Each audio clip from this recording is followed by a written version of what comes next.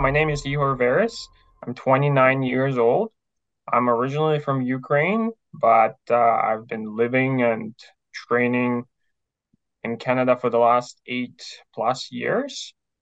Uh, my uh, backyard record is 67 yards. That was quite an accident. Uh, my girlfriend basically convinced me to sign up for this local uh, backyard race, which, which turned out to be a silver ticket race for nationals.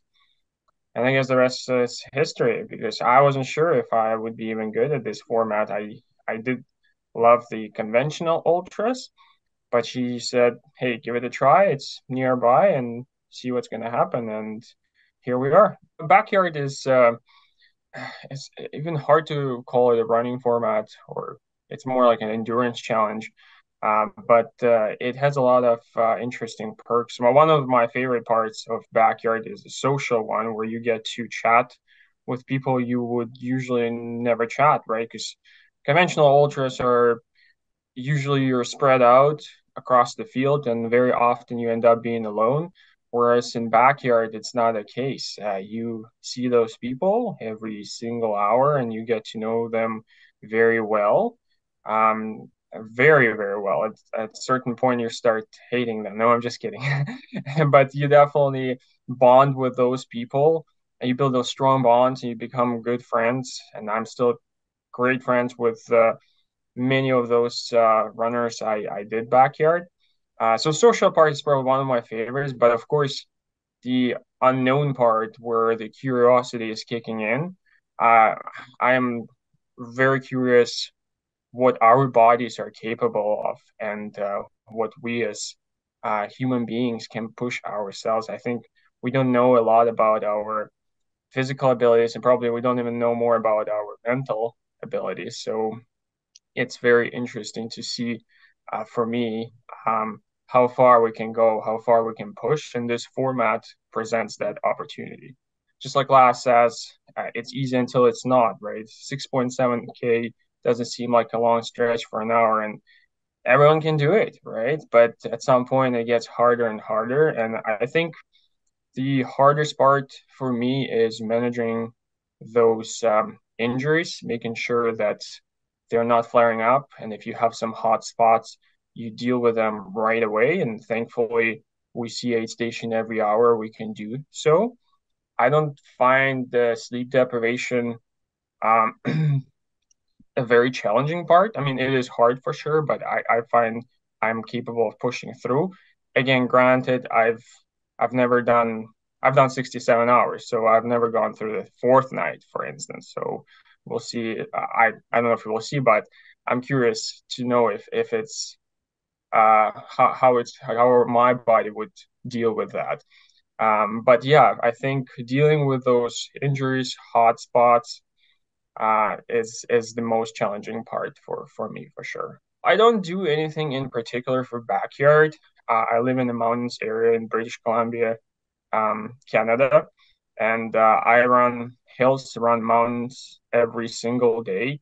So I do have a lot of vertical training where which I hope it will be helpful on Laz's course where there's a lot of elevation gain and lots of hills on the day course in particular. Uh, so yeah, I don't do anything specific for backyard to be honest. I don't. I do uh, some speed walk sessions for sure, but uh, just once a week. But most of the time, it's just regular training, the one you would do for any conventional ultra. When we did the backyard last year in Canada, we didn't really know how fast or how slow to do it, what breaks to take. So I think we actually borrowed the Harvey Lewis strategy because uh, at that point he he was the uh, world record holder. Uh, so we, we are sticking kind of to the same pace of 53, 55 ish minutes per uh, loop for the day loop. And again, it all depends on the course, right? I heard the Laz course is uh, exceptionally hard. But if I look at the elevation profile, it seems like it's the same that we had here in Canada on national. So I think that's what we're gonna do. We're gonna uh, keep it consistent, especially day loops, trying to hit those 53, 55 minute uh, loops, uh, do them relatively slow, I guess, and not planning on taking a lot of uh, break time day loops, but night loops we might change it again depending on the course. Seems like it's going to be a little bit flatter, so we'll probably pick up pace and uh, hopefully book a bit more time for for naps at night. Because this is going to be my third backyard, so I did silver ticket race, and when I realized that was at national championship um, with Team Canada at that point I think when there was there were probably three of us left, um, I realized that okay, I can do it. I think uh, we can we can go to worlds, we can go to individual championships, and I had in my head, and the yeah, I guess uh, I, I I was able to uh, run the most loops uh, here in Canada, and it basically secured the sport the spot in at individuals and bigs.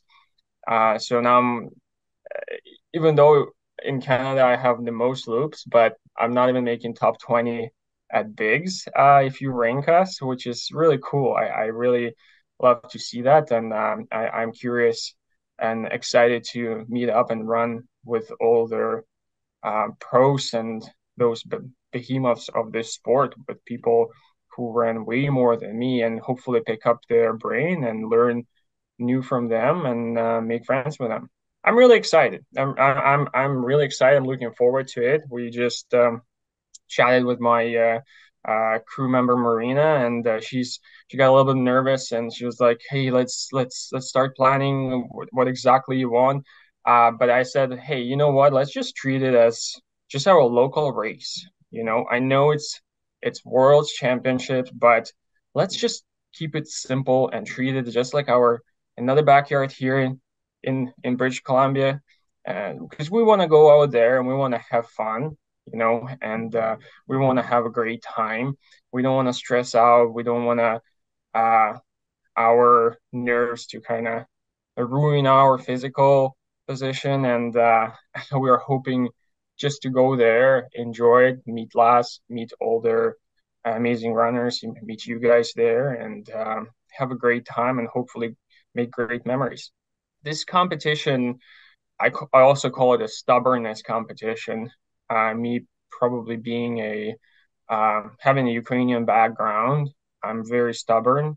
So when it comes to uh, uh pushing yourself to the limits and uh, going through the pain and uh, going to the very very last moment, so I know that I'm not gonna drop out unless this is something unbearable. You know, this is something that uh, my human body just you know can't bear anymore. Again, I haven't dropped out yet, but uh, given the field here and uh, the capacity of uh, some of the runners, I know it could happen. So uh, I think that stubbornness part that I haven't made has been very helpful, and um, uh, I think that's the the the feature maybe trait that I have that uh, helped me to thrive in this format so far.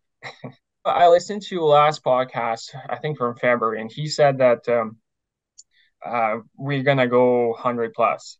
I th- do not think so. I personally think the course record will fall, but the world record will not. So I think the course record is 85 by Harvey Lewis. Uh, but uh, yeah, the world record is 102. But due to the um, uh, first of all, course, it's very technical, lots of vert, it's harder, nights are going to be long. Um, also, people are traveling from all over the place, so they're not going to be at home, right? So there's going to be time lag, and all those things coupled together. I I think we're going to go into 90s. Uh, I do believe that 90s is gonna is gonna happen at bigs. 100 plus i don't think so i don't think this course is really good for breaking the world record so that's that's my prediction anyway. So i think maybe 97 98 ish um, that's where i think it's going to end